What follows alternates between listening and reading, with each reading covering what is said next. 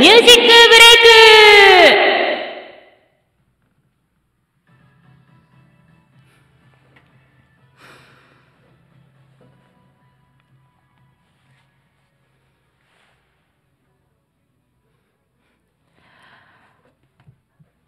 ク。7月9日日曜日。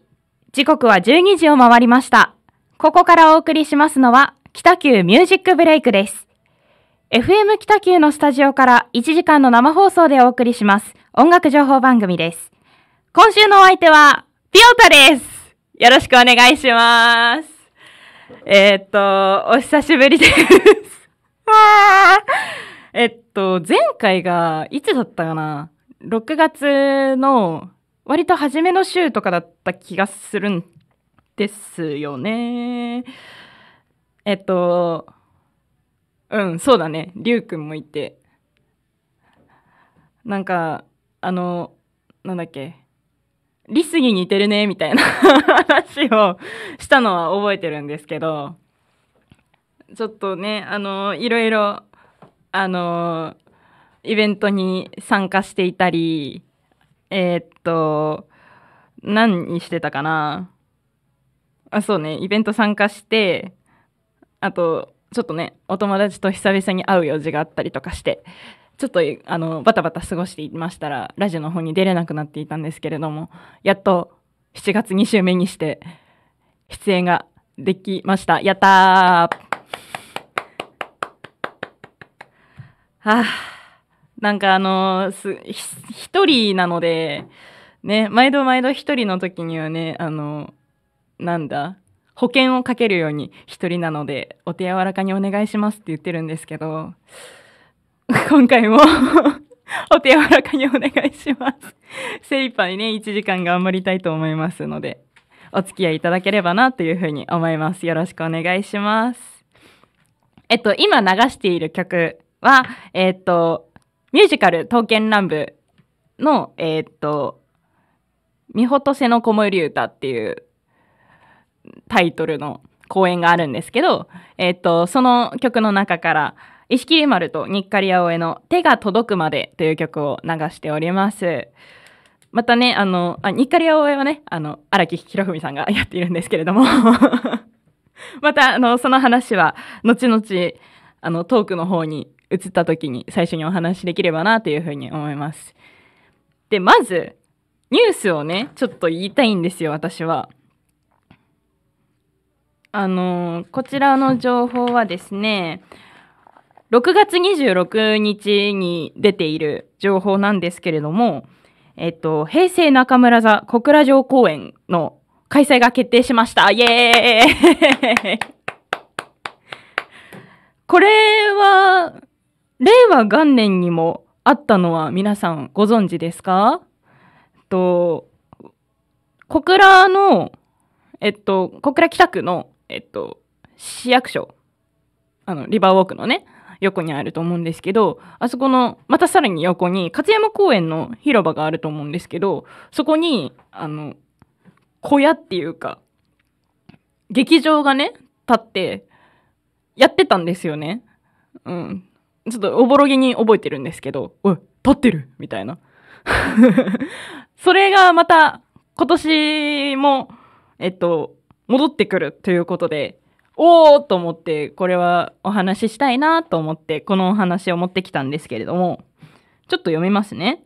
えっと、北九州市小倉の街を元気にしたいという、えっと、中村勘九郎さんと七之助さんの強い思いと、その思いに賛同する北九州市が再びタッグを組み、全面サポート体制で、北九州市政60周年の大型記念行事事業として、北九州市民と中村勘九郎さん、中村七之助さんが待望した4年ぶりの平成中村座小倉城公演が決定しました。イェイ。公演、えっと、中村平成中村座のコンセプトは単なる劇場での歌舞伎公演だけでなくまるで江戸の芝居小屋に見ていえっと、見に来たかのようなタイムスリップしたかのような体験ができる時空を超えたエンターテインメント空間であることえっと、福岡で唯一天守閣がある小倉、えー北九州市の小倉城のお膝元の勝山公園で特設劇場を建設しその周りにはたくまるで、えっと江戸時代の街を彷彿させるようなたくさんの街、えーたくさんの店が立ち並ぶ長屋が出現して前回よりもグレードアップしたエンターテインメント空間平成中村座小倉城公園をお届けしますとのことです。ちょっとね、カミカミで申し訳ないです。本当にごめんなさい。えっと、これ、題目が、えっと、昼公演と夜公演でちょっと違うみたいなんですけど、えっと、昼公演の題目が、義経千本桜が一つと、あと、昼公演もう一つは、風流小倉に若す、ん？小倉にわかの里の彩り。うん、これ、あの、さっきすごい、わ、間違えないようにしようと思ってめっちゃ考えてたのに、ね、本番迎えるとぶち飛びますね。ごめんなさい。風流にわかに、ん？風流小倉にわかの里の彩り。うん、これが多分正解だと思う。と、えっと、夜の部は、小笠原騒動だそうです。えっとね、私は、えっと、去年の1月に、えっと、なんだっけな。東京で、えっと、天使は、ん？天使は桜に舞い降りてっていう、えっと、舞台を感激したんですけれども、その、えっと、舞台の中で、何個か桜にまつわるストーリーがあって、その中で義経千本桜を演じていらっしゃってて、そこで見てはいたんで、あ聞いたことあるって思って、ちょっとワクワクしています、私。えー、行きたいんですけど、ね、チケット取れるのかな？えっと、チケットは、あ、違う、公演のね、日時は、えっと、今年の11月1日の水曜日から11月26日日曜日まであるということで、えっと、間の7日と20日は休演日となっています。えっと、あ、13日の月曜日以外は全部昼夜どっちも公演があるみたいですね。すごい。ロングラン公演ですね。全47公演、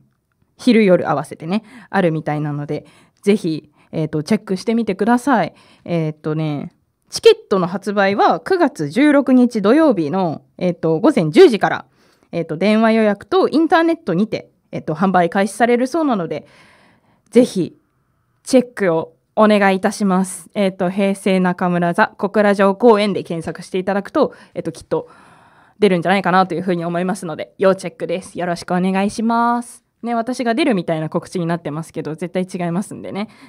楽しみですね。なんか、その、さっき言った長屋？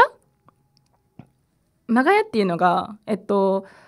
公演を見に来たお客さんだけじゃなくて一般のお客様チケット持ってないお客様でも、えっと、そのお店でね買い物ができたりするそうなのでなんか江戸の街にタイムスリップしちゃいたいなみたいな気分になったらぜひねこの公演期間中はお店に立ち寄ってみてもいいんじゃないかなというふうに思いますのでねそういった面でもすんごい楽しみですね。はい。ということで、えっ、と、本日のニュースというか、お、いいじゃんって思った、なんだ？まあ、ニュースか。ニュースは、こちらの平成中村座小倉城公園のお話でした。はい。ということで、メール募集をね、したいと思います。えっ、と、メール募集は、785アットマーク fm- 北九 .com 785アットマーク fm-kitaq.com です。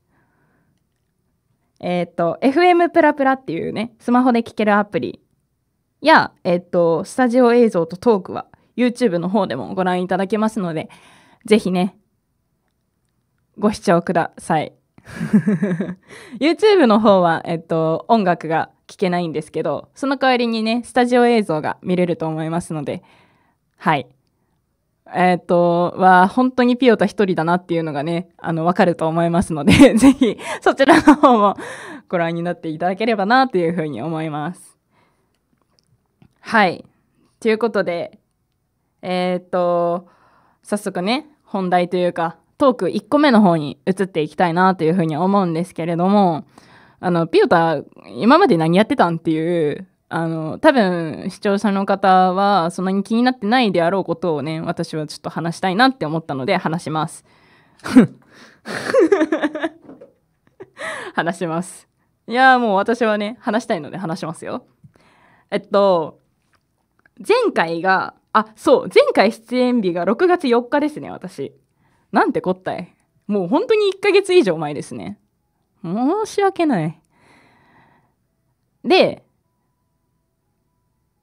えっと、そう、6月14日が、あの先ほどちょっとお名前出しましたけれども、えっと、私の大好きな俳優さん、荒木博文さんのお誕生日でございまして、えっと、今年40歳を迎えられたということで、えっと、それも記念して、えっと、バースデー、ん？お誕生日イベントが東京の方で行われていましたので、そちらの方に私は行っておりました。いや、あのその週の、えっと、あ、その誕生日が水曜日だったんですけど、その週の月曜日に、あの、ちょっと飲み会に行き、で、結構ね、お酒いっぱい飲んで、イエイって感じで、ちょっとフラフラなりつつ、で、その次の日も一元からだったんで、ね、頑張って行ったんですよ。で、その次の日火曜日が、えっと、珍しく夜まで授業があってて、8時ぐらいにね、学校出て、で、その後、お家帰って、で、でもなんかいろいろ準備が終わってなくって、すごいバタバタしてて、でも水曜日の、あ、私何で行ったんだっけ？あ、そうそう、水曜日は普通に過ごして授業に出て、あ、違う違う違う違う。水曜日がイベントだね。そう、だから火曜日のその帰ってきてからか、そうそうそう。帰ってきてもうバタバタ準備終わらせて、その次の日の始発に乗って福岡空港の方に行って、そこから乗り換えて飛行機乗ってっていう日程だったので、すごく忙しく過ごしていました。ね、自分の首を絞めている。早く準備をしましょう。もう毎回毎回そうなんですけど、準備しないんですよね。ギリギリになっても。いい加減学んでいただきたい。はい。で、その、なんとかね、始発に乗って、で、福岡空港の方まで行って、で、初めて、えっと、なんだっけな、あれ。スカイ、スカイマークじゃないな。ジェットスターだ。そう、ジェットスターに乗って、で、すごく安いんですよ、ジェットスターって。あの、手荷物預かりをしなかったので、私は。で、持ち込みが7キログラム以内だったので、どうにかどうにか抑えようと思って、いろんなね、ものを一回詰めて、で、測って、オーバーして、どんどん抜いてって、みたいなことをして、ちょっとね、あの、荷造りも何度もやり直してしんどかったんですけど、なんとか7キロに収めつつ、で、そう、うん、そうね、うん。で、行って、で、もう、その移動中の電車の中でもう爆睡して、もう目覚めたら福岡、あ、違う博多駅に着いて、みたいな感じで。で、飛行機に乗ってももうすぐ寝ちゃって、もう目覚めたらもう、成田空港に着いてて、あー、なんでみたいな感じだったんですけど、まあね、そこでバッチリ睡眠を取れたので、ちゃんとね、しっかりシャンシャン歩いて、えっと、東京の街をね、うん、いや、散策はしてないか。観光がちょっとできなかったんですけど、その、空港から会場までちゃんとね、電車に乗り間違えることなく、しっかり乗って、で、あの、お誕生日祝って、で、その、一部と二部があって、私、両方い、ね、あの、参加したんですけれども、昼公演の、あの、終わり際に、あの、荒木博文さんが解明の発表をしまして、びっくりした。しまして、あの、漢字がね、今までは、本名で活動されていたんですけれども、えっと、改名をして、えっと、名前の読みはそのままで、漢字がちょいちょい、最初の文字と最後の文字だけね、ちょっと変わったんですよ。そこはちょっと、あの、どうやって表現すればいいんだろうな。あの、新しいっていう、新しいと木で荒木で、ヒロはそのまま。で、ふみが、あの、出店とかの店っていう感じで、ちょっと変わっちゃって、でもう何も予想してなかったからすごいねあのショックではないけどねいろいろ思うところがあり なんか打ち打ちひしがれた気持ちでねあの昼あ違う夜公演の始まりをずっと待ってたんですけど。まあなんかすごい長い時間でしたね。なんか気持ちの整理がつけたのでそこは良かったんですけど。ね。あの6月1の大ニュースがそちらでしたね。荒木博文さん解明。素晴らしい。なんかいろんなね思いがあるみたいですね。やっぱり。40っていう節目を迎えたのでそこから思うことがいろいろあったそうで。もういやこれからも末永く応援させていただきますという気持ちでしかないでございます。はい。でイベントが終わった後は、えっと、夜行バスに乗って帰ったんですけどえっと私は学生の身でありちょっとねあのー新幹線も飛行機もちょっとあのーなんだっけな。あの時間がねイベントの時間がちょっと遅かったので終わりの時間が。あの間に合わなくって週最終のものが。なので泊まろうかなと思ったんですけどその次の日のね早朝の便で帰るのもちょっとなしんどいなと思ってもう車中泊でいいやと思ってえっと福岡あ違う違う。東京から神戸の方まで出る夜行バスに乗ってそこからえっと 何に乗ったんだっけ？あそう。新幹線に乗り換えてえっとそのまま小倉について授業の方に 向かいました。パワフル。なんか自分のその行動の感じを客観視しても何やってんだろうこの人ってすごい思うんですけど。まあそれは充実したうん旅行じゃないけどイベントだったなーって思いますね。まあそんなこんなですごい衝撃的な発表をされてから それがね中日だったからねまあその後は何してたかな？あのゼミに配属が決まっ配属のゼミが決まったりなんかいろんなことが決まってってあとはねあの高校時代の青春を共にした放送部の仲間と一緒にえっと、カラオケに行ったりしていて、まあ、久々でめちゃくちゃ楽しかったです。ふふふ。あの、もう私の友人はみんな、ほとんどが、えっと、就職をしていて、もう多分、気軽に会うことは少ないだろうなっていうふうには思っていたんですけれども、本当に少なくなって、ね。SNS でもねあのつながりは持ってるんですけれどもその学生の頃に比べてやっぱり投稿の頻度が少なかったりとかしてちょっとしょんぼりしていたんですけれどもあの遊び行くけど行かないかいっていうふうにお誘いいただいてえぜひ行かせてくれ。というふうになりまあ楽しかったですね。なんかこの学生私は学生だけど友人はもう社会人っていう立場になってでなんかもうやっぱり大人だなって思って やっぱちょっとね寂しい気持ちもありつつでもね話してみるとやっぱりあの頃のまま変わらないなっていう部分もあってうんやっぱ定期的に会うのは大事だなって思いましたね。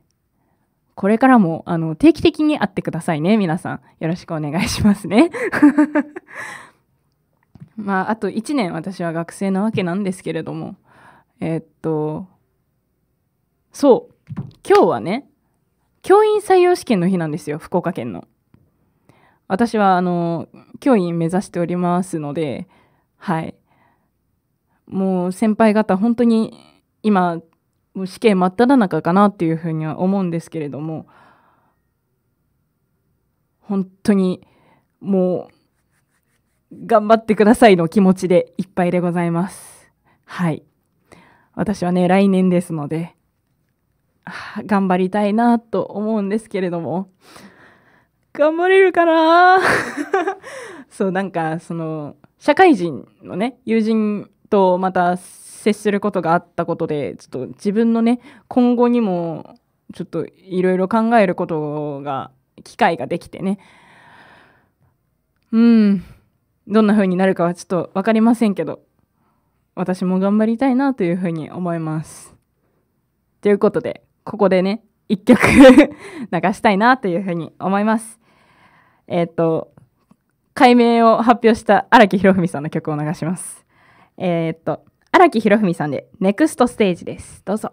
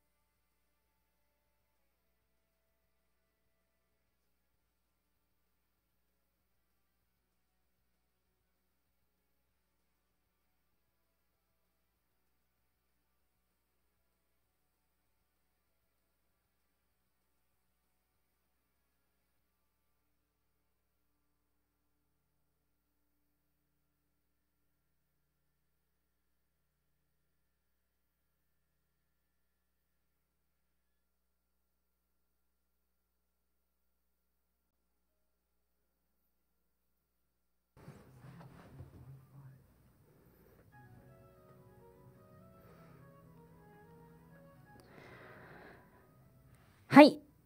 今お聴きいただきました曲は、荒木博文でネクストステージでした。ふふふふふ。えっと、この曲は、あの、ネクストステージなので、なんか、ね、そのまま、次のステージって感じなんですけど、えっと、うん、その、解明したこととか、次のステージに行くんだろうなっていうのが一つと、まあ、いつもね、あの、感激、私自身が感激し終わった後に、その移動中の電車の中とかで聴く曲なので、この曲を選びました。かっこいいね。はい、お聴きくださいましてありがとうございます。では次。2個目のトーク。えっと、ここはね、ちょっと打って変わって、Perfume の話をしていきたいなというふうに思います。なんでって感じだと思うんですけど、私、幼少期からずっと Perfume が大好きで、3人ね、あーちゃんとカシユカとノッチね、あの3人の Perfume がとっても大好きなんですよ。で、えっと、なんて言ったらいいんだろうな。そう。ん？考えがまとまっていないのがちょっとバレますね。えっと、まあね、ただ好きだよっていうだけで、ちょっと Perfume を選ばせていただいたんですけれども あの、なんて言うんだろう。Perfume は、こう、見た目ビジュアル的にも結構インパクトないですか？一人一人が出てきたら、うーん、まあそれはね、綺麗だなとか思うとは思うんですけど、3人で揃った時のインパクト、うん、すごっと思って。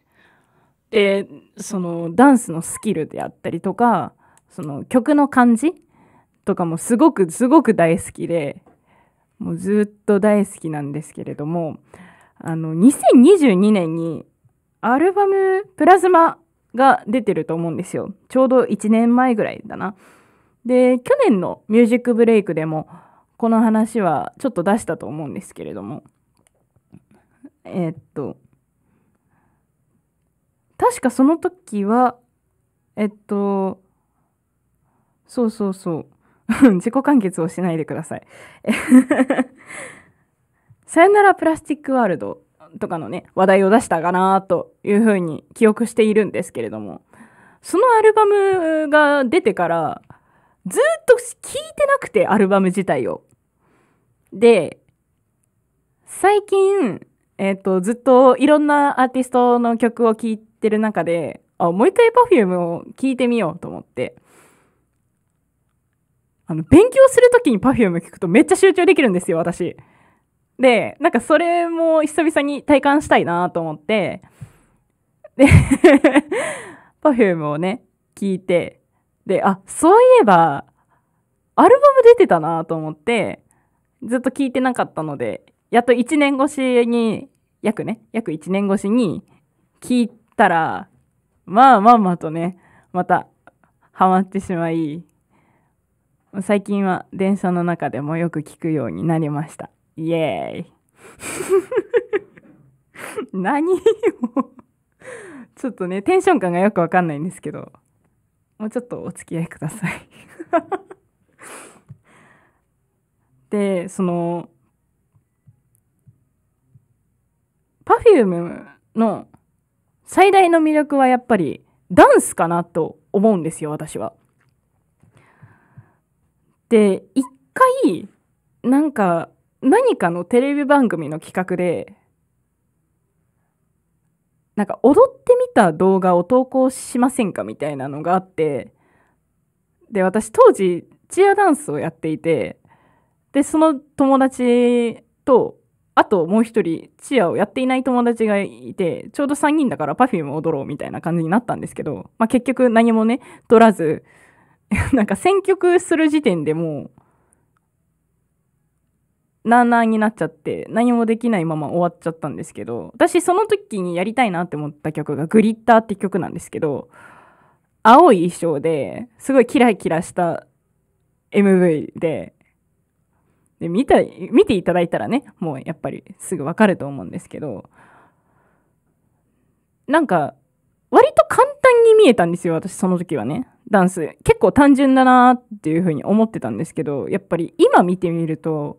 うわキレがやばすぎる。揃ってる。すごすぎると思ってもうやっぱりあの時はやらなくて本当に正解だったなという風に思います。よかったやらなくて。危ない。まあねやれてたらやれてたでね。それは楽しかったんだと思うんですけど。うん。あとはこの曲調？なんて言うんだろうなあの曲。ちょっと近未来的なテクノポップとか言うんですかね。テクノポップとかハウスミュージック系？エレクトロポップ？ね急にちょっと専門的な単語言い出したやんって思いましたよね。調べましたこれは。って言うんですって。で幼い時からもうずっとうわ Perfume の曲大好きって思っててもうなんかいろんな曲を聴いてもちょっと Perfume っぽい曲が好きなんですよやっぱり。だから原点はやっぱこういうねテクノポップだったりハウスミュージックとかエレクトロポップ系の曲がなんか潜在的に好きなのかなっていうふうには思います。ふふふ。で最近はえっと誰だっけな？そう、歌集家が 姫カットで可愛いなと思って、あビジュアル系、ビジュアル的な話で可愛いなと思って、ちょっと姫カットやりたい。ちょっとやりたい。でも、荒木博文さんに影響されて、ちょっとウルフもやりたい。揺れ動いていますね。お楽しみに いや、ちょっと切ることはね、わかんないと思うんですけど、あとね、YouTube 見てないと、これはちょっとわかんないと思うんですけど、まあ、切った時は切ったって言えますね。ぜひ YouTube の方で確認していただければなと思うんですけど、あんま関係興味ないけど。うん、なんか、とりあえず、なんて言ったらいいんだろう。そう、そのアーティスト Perfume っていうのがちょっと印象強いかなって思うんですけど実はアイドルグループっていうのがえっと結構衝撃的で気づいた時が えアーティストじゃないのかと思ってあれはアイドルの枠なんだと思ってこうなんかアイドルっていうとやっぱりこう笑顔でこうずっと元気でこう結構集団的な感じ？で結構フリフリな衣装を着てみたいなちょっと固定概念が強すぎてその枠に Perfume が入っているのかと思ってすんごい当時気づいた時は相当びっくりしたんですけどね。まあ今もびっくりしてますよ。Perfume ってアイドル枠なんだそうです。びっくりしました本当に。もう多分今後もねずっと好きだいるんだと思うんですけど。うーん。最近の MV はやっぱり「タイムワープ」っていう曲が緑の衣装を着ててるやつなんですけど。もうねあの口で言い表せないのがすごいもどかしくて。ちょっとコマ撮りっぽい映像。でやっぱりこう近未来的な感じを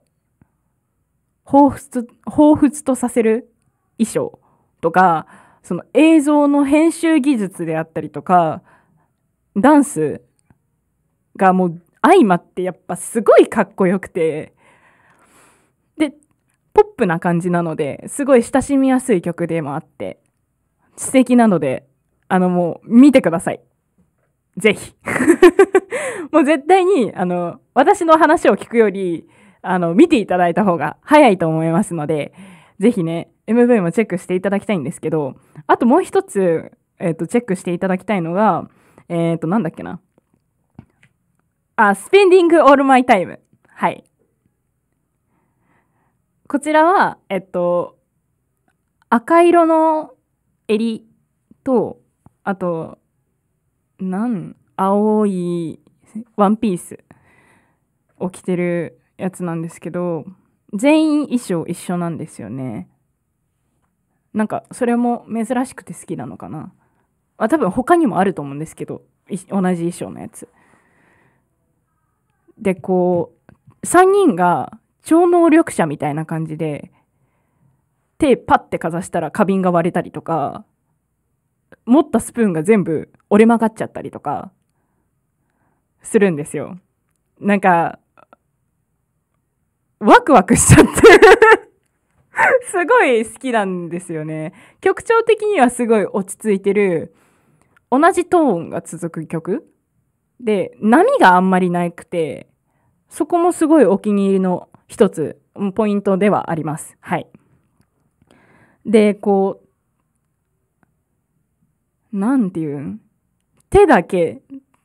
顔の前に手を出して弾いてみたいなので表現するダンスがあるんですけど、そこも、ああの、この間メイキングをね、見る機会がたまたまあってちょっと見てたんですけど、なんかもうほんとすごくてこれできるんだっていう風に思って、やっぱ3人の絆とかが、やっぱないとな、できないなと思って、すごい感動したんですよね。もうそれもぜひ見ていただきたい。スペンディングオールマイタイムです。ぜひご覧になっていただきたいなっていう風に思います。ね。もう、MV 見てくれしか言えん。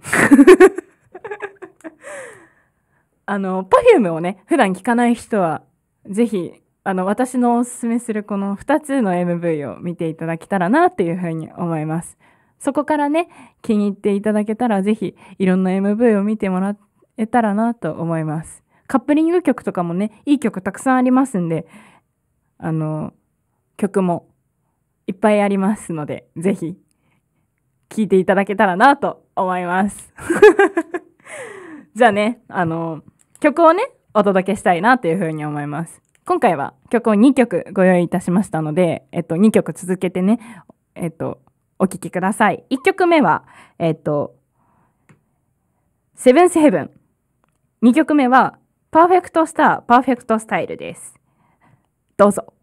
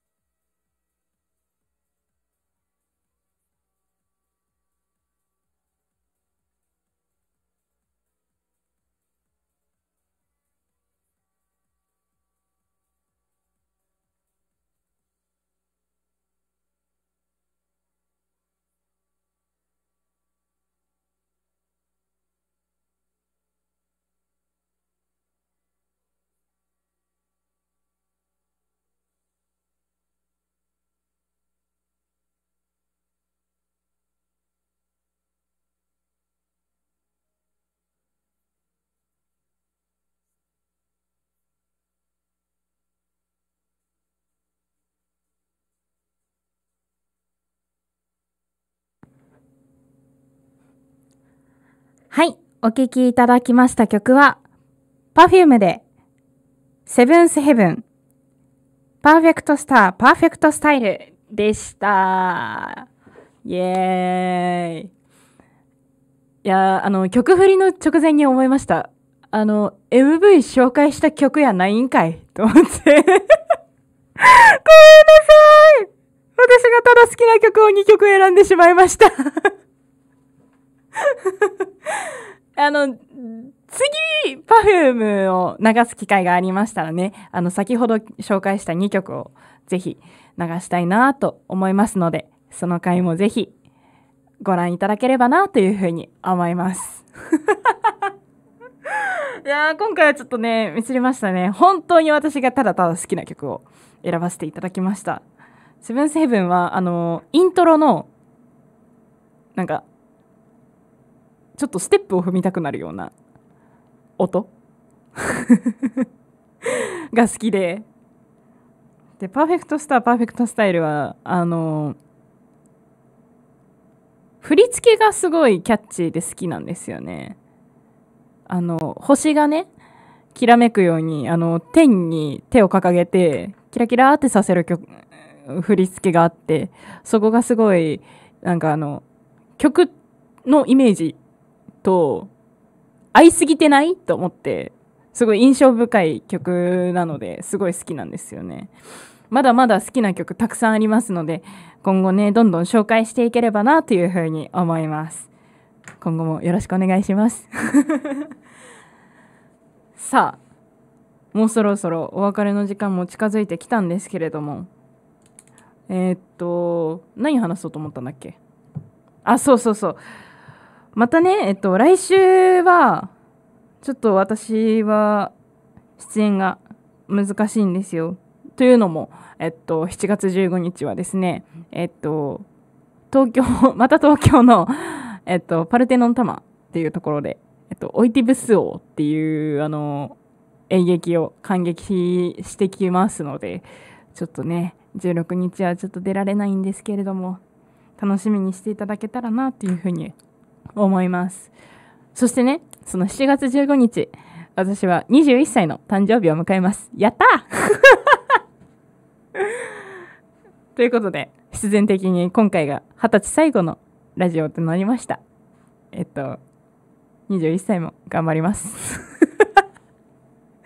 ねえ、なんとも言えないことを言わないでほし